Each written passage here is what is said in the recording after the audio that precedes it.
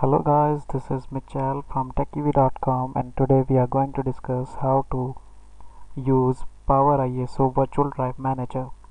As we all know, Power ISO Virtual Drive Manager is a software through which we can burn images and even mount up ISO images. To download Power ISO, you just need to go to poweriso.com and download the software from here as I have already downloaded this software and installed I'm going to show you how to use it. Just click into start all programs and power ISO just click onto this power ISO virtual drive manager and you can see that this icon has been started. Just right click onto this and you can see the option out here mount image to drive edge just click onto this this is the default drive where the image will be mounted.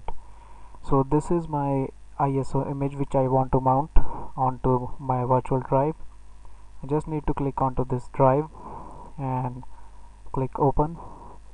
In my computer you will see that this virtual drive which is CD drive edge here this image has been mounted you can check out the image by clicking right clicking onto this open as you can see all the files which were present in the ISO image has been mounted on this virtual drive.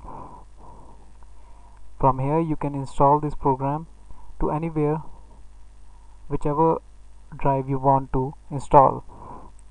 So this is how you mount an image to your virtual drive using Power ISO virtual drive manager. This video was for techyv.com thank you for watching this video.